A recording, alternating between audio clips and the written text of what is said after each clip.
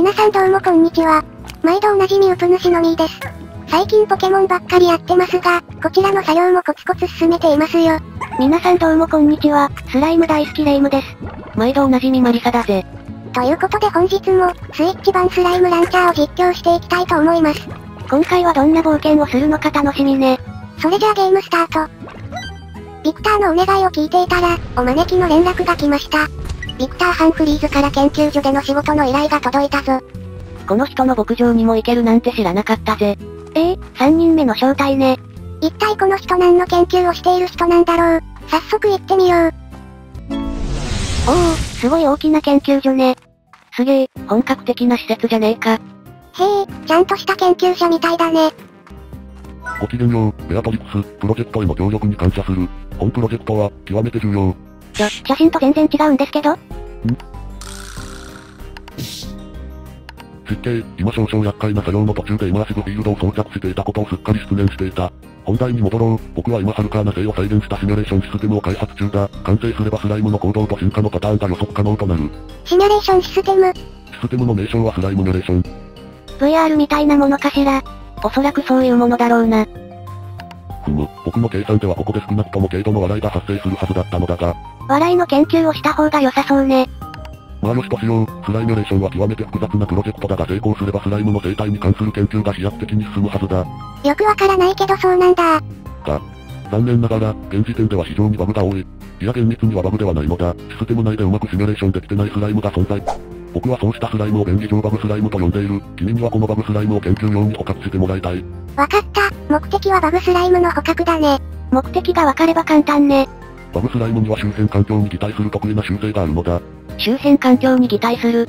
バグスライムが擬態するのはハルカーナ星でごく普通に見られるアイテムや通常のラルゴ体などだ。しかしよく見るとどこかしら不自然な点に気づくだろう。えー、っと、つまりバグスライムは他のスライムや物に擬態しているからそれを見つけろってこと。物に擬態していたら専用のスプレーを使えって。手順はよくわかったぜ。早速バグスライムを捕獲しに向かおう。スライミュレーション、スタート。おお、すごい。ゲーム内でバーチャル空間に行ってる。さあ怪しいスライムを探すわよ。どこかに必ず違うところがあるはずだぜ。どれどれ、まずはじっくり観察。顔だ、顔があれだ、メタモンだ。出たー、こいつらがバグスライムよ。顔があれだけ違うんだったらすぐに違いがわかるな。このバグスライムすごいすばしっこい。すぐに回収しないと逃げられちまうぜ。他にも顔が違うスライムはいないかなメタモン発見、あいつがバグスライムだわ。待てー、捕獲だー。僕、悪いスライムじゃないよ。悪いスライムでした。ほんとこいつらすごい速度ね。このバグスライムを集めたらバグレポートに自動で変換されるんだったよね。ああ、バグレポートの数で得点がもらえるってよ。何かもらえるっていいわね。これもバイトみたいなものよ。あー、待って待ってー。あれ、消えちゃった。バグスライムはすぐに捕まえないと消えちゃうのかもね。こいつは厄介だぜ。あれ、これは何？これってあいつが言ってたスプレーじゃないか。デバッグスプレー、これをかければ物に化けてるバグスライムが姿を現すのね。物に化けてるスライムを見つける前に、スライムに化けてるやつがぴょんぴょんと。ちょっとこの空間、バグだらけじゃない？この VR がスライムの進化にどう関わってくるのかな？ほんと、あの人こんなバグだらけで何しようってのかしら。まあ、将来的にだろ、将来的に。私たちはとにかく協力するしかないね。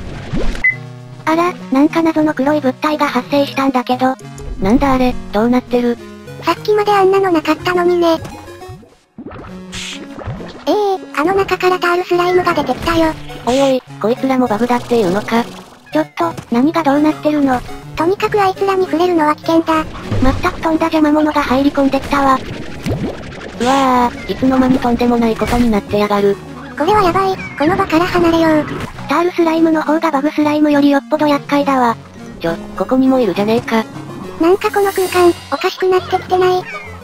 ほんと、どうすればいいのかしら。うわ、出口が出現したぞ。急いでビーコンの示す方へ逃げよう。うわぁ、逃げろ逃げろー。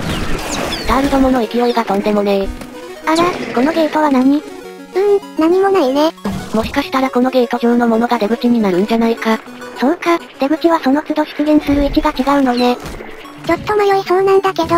頼むから矢印通りに進んでくれ。大丈夫だ、落ち着いてゆっくり進もう。それにしてもこの世界、かなり広くない？まさかこんなに広くなってるとは思わなかったぜ。こっちの方にも行けるなら最初から進んでいればよかったね。きっと効率のいいバグスライム捕獲方法とかあるんだろうな。こういうのは何度もトライして見つけていくものだからね。まったく、もっと安全な VR 空間を作ってもらいたいもんだ。あれ、ここが出口。違うわ。長いよー、早く出たいよー。出口まで一瞬でワープできる装置作ってくれないあいつはあいにくスライムのことで頭がいっぱいだろうな。脱出ー。も、戻ったのか。か、帰ってこられた。リアル度はすごかったわ。ただしとんでもなくバグだらけ。ええー、作り直してください。また行ってきてね。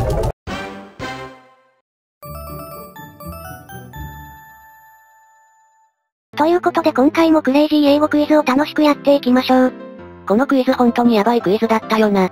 うんうん、登場人物の例文がひどかったね。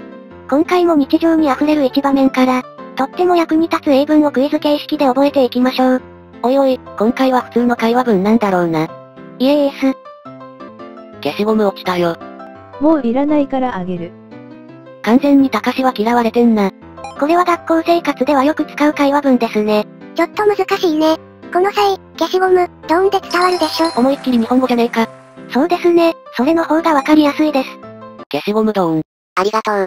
あそこにいる全裸の男は、私の父です。あそこにいる全裸の男は、私の父です。これはアウトだな。通報しておいたよ。さあ全裸の男は英語で何と言うでしょうか正解、ネイキッドマンでした。誰も答えてねえ。優先席付近でのドラムセットのご使用はお控えください。いや車内のどこであってもダメだぜ。ライブハウスと間違えてしまったんでしょうね。バカなんてレベルじゃねえ。優先席はプリオリティシートでした。優先席付近ではヤドラムにしておきましょう。ヤドラムもダメだ。お待たせ、早速行こうか。その前に下を履いてください。デートの時は下を履いてくるようにしましょう。普段から履けー。あの後たかしくんはおまわりさんに連れて行かれただろうね。まったく英語とクイズが頭に入ってこねえ。トイレに行きたかったのですが、もう必要ありません。こいつ漏らしやがった。もっと申し訳なさそうにしろよ。どこどこに行きたかったはなんて言うでしょう。えー、っと、 I wanted poo go poo かな。答えはまた来週。引きずるな。やったー、正解だたかしくんのお父さんは、道端に軍手を落とす仕事をしています。は？ぁ、あ、たかしくんのお父さんの職業は道端に軍手を落とす仕事なんです。ただの迷惑行為だろうが。でも軍手がなくて困ってる人はすごく助かるよね。そんな人めったにいねえだろうがな。